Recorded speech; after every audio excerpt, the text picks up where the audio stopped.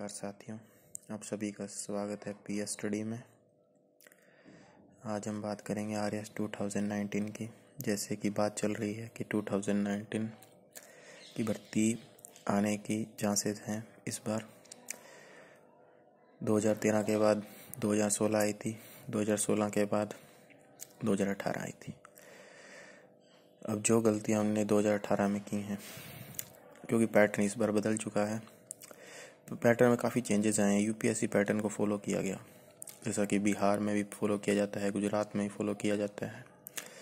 कुछ हद तक फॉलो किया जाता है। तो आज हम देखेंगे कि हमें क्या क्या पढ़ना चाहिए जो कि आर एस टू थाउज़ेंड में, ताकि हम प्री क्लियर कर जाएँ आर एस का। तो हम पहले देखते हैं। सबसे पहले, जैसे कि मैंने यहाँ पे लिखा है पहला पॉइंट इंटरनेशनल न्यूज़ और करंट इवेंट्स जैसे कि हमने R S two thousand eighteen में देखा Donald Trump and North Korea के लीडर का एक क्वेश्चन सीधे सीधे इंटरनेशनल का आ गया था। पाकिस्तान का एक जज के आया था जज के नाम से आया था, पाकिस्तान के ब्लाइंड जज एक वो क्वेश्चन सीधे सीधे एक मालाबार एक्सरसाइज नाम से भी आया था। हाँ जी, जो यूएस जापान और इंडिया की थी शायद से, है ना? एक वो आया था। और भी क्वेश्चंस थे। जो कि इंटरनेशनल न्यूज़ के कवर हमें करने चाहिए। तो हमें अब इंटरनेशनल न्यूज़ पे या इंटरनेशनल इवेंट्स पे हमको फोकस करना पड़ेगा। क्योंकि इंटरनेशनल क्वेश्चंस पे डायरेक्ट क्वेश्चंस आ रहे हैं।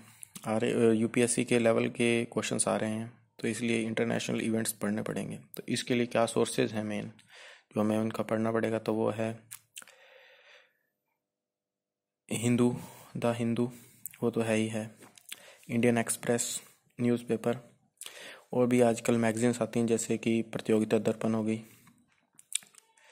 और और भी आप मैगजीन्स, और भी न्यूज़ की मैगजीन्स आती हैं, वो आप पकड़ सकते हैं। पैरानो, पैनोरमा हो गई, या फिर आप और भी मैगजीन्स रेफ़र कर सकते हैं। अलग अलग राइटर्स, पब्लिकेशंस की आती हैं तो आप फॉलो कर सकते हैं। फिर हम उसके बाद देखते हैं नेशनल नेशनल इवेंट्स जो नेशनल इवेंट्स में इस बार काफ़ी क्वेश्चन आ गए जैसे मेघालय वाला आ गया था एक क्वेश्चन मेघालय, मणिपुर वाला।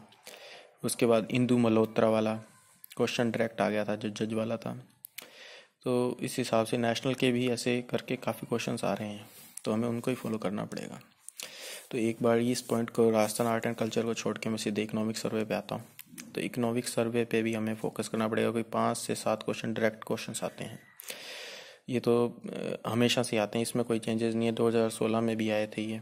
उसी हिसाब से 2018 में भी ये क्वेश्चन आए हैं। तो हम अपने उम्मीद कर सकते हैं कि 2019 में भी ये क्वेश्चन आएँगे। इस बार क्वांटिटी एपिट्यूड की बात करें तो क्वांटिटी एपिट्यूड भी इस बार काफ़ी मॉडरेट लेवल था। लेवल इजी तो नहीं था मॉडरेट था। मॉडरेट इसलिए कि कैलकुलेटिव ज़्यादा था, क्योंकि जो क्वेश्चन थे वो काफ़ी कैलकुलेटिव थे तो उस वजह से ये थोड़ा कैलकुलेटिव रहा।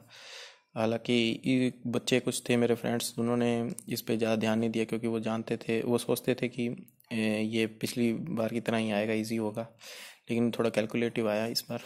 तो ये क्वांटिटी एप्टीट्यूड को भी अब थोड़ा सा सीरियसली लेना पड़ेगा। और राजस्थान आर्ट एंड कल्चर तो है ही है। राजस्थान आर्ट एंड कल्चर के कुछ क्वेश्चंस भी थे इसके अंदर, जो क्वेश्चन की हिंदी में थोड़ी मिस्टेक हो गई थी। हिंदी में कुछ उसमें लिखने में कुछ, उसकी छपने में कुछ मिस्टेक्स थी, इसलिए वो तो वो उस वजह से हो गया था। बाकी इंग्लिश में मेरे हिसाब से वो सही था। तो इस हिसाब से हमको देखना पड़ेगा और थोड़ा बोर्ड भी थोड़ा पहले लीनियंट लीनियंट था, अब इस बार थोड़ी लीनियंसी उनकी थोड़ी कम हुई है तो जैसे कि दो मंथ्स लग गए थे रिज़ल्ट आने में। दो मंथ तो उधर लगा दिए थे और कुछ, कई लोगों से मैंने सुना था कि 2016 में 12 क्वेश्चन डिलीट हो गए थे, लेकिन 2018 में इस बार 44 जहाँ की सुनने में आया था कि 44 क्वेश्चंस पे ऑब्जेक्शन लगाया गया, लेकिन उसमें से एक भी डिलीट नहीं किया गया। तो जो लीनियंसी है बोर्ड की आर थोड़ा स्ट्रिक्ट हो गया है। और पैटर्न भी चेंज हो गया है थोड़ा तो हमें थोड़ा सा सीरियसली और प्रिपरेशन करनी पड़ेगी। तो ये था मेरा एनालिसिस आप सभी को मुझे लगता है कि अच्छा लगा होगा। अगर अच्छा लगा तो लाइक कर दीजिएगा। अगर नहीं अच्छा लगे तो डिसलाइक कर दीजिएगा और डिसलाइक क्यों किया तो वो आप बता दीजिएगा कमेंट में ताकि मैं अगली बार वो जो कमी है वो सुधार सकूँ। तो थैंक यू